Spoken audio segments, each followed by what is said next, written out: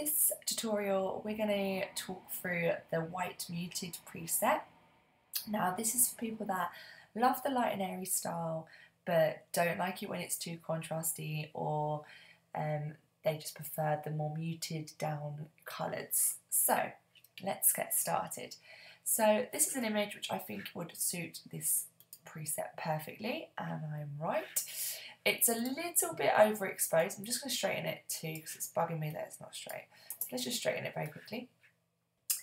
Um, so because the room's quite light and this preset's quite a light one, I'm going to bring down the exposure ever so slightly.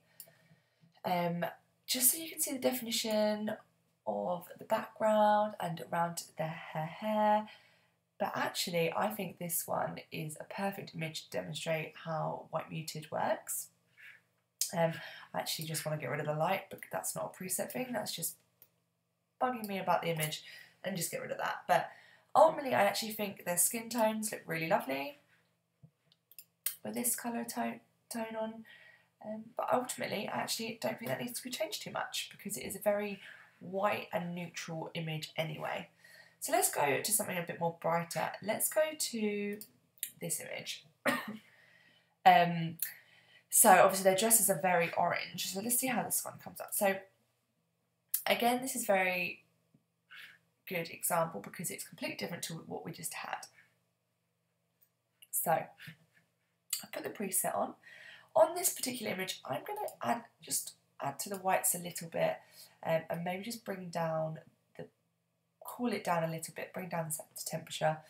Um, this image needs some work because unfortunately the flowers were really wet and as you can see there's loads of marks on their dresses.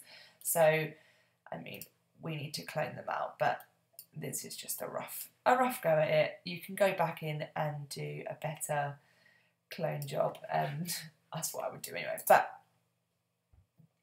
in fact, that is terrible. Just that's really annoying. Let's just get rid of them. So, um, yeah, I'd go and sort out the dress. But ultimately, the white tone, white muted tones are quite nice. Even with a bit of colour, it kind of still gives that muted but light and airy style to the image. So I'm going to move on. I really like this setting for indoor shots. So here we go. Here's a bridal prep and um, again, this is a little bit, it was a bright day, so I'm going to bring down the exposure a little bit and I'm going to crop out this beam because I don't like it. And let's just bring the whole image in a little bit here and because we want it to be about them. So I think I shot it on a wide lens because we were doing film as well. Um, so we both had to fit in the room.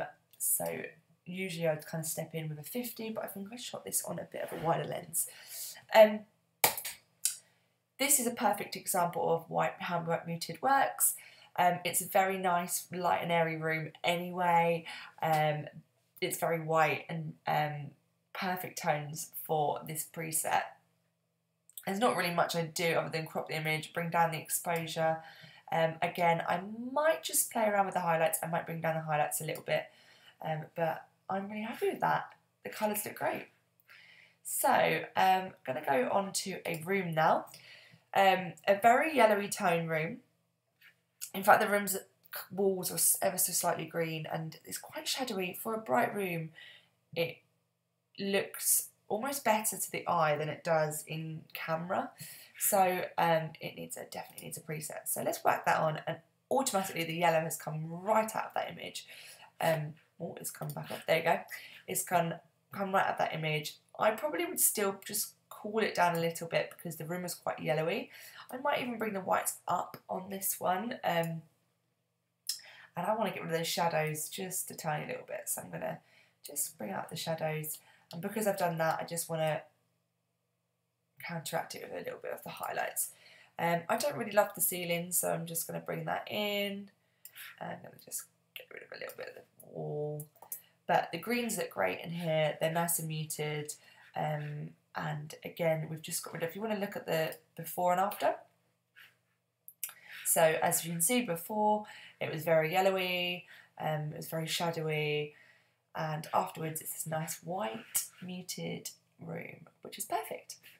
And so we're going to move on. I'm going to go to an outdoor shot here. Let's just get it back into the one frame. Um, this is a rainy image, um, and this is another example where I think it works quite well. So let's just pop that preset on. Here we go.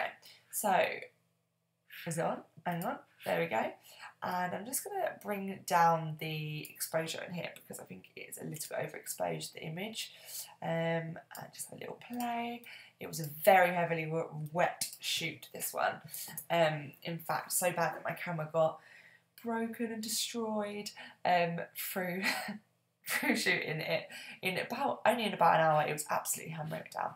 But going back to the editing, I feel like I want to just increase the contrast here. Um, and because I want to get a bit more of this in, I'm going to just bring right down the highlights just so I can see a little bit. I mean, it was a very, the vis yeah, the visibility on that day wasn't great.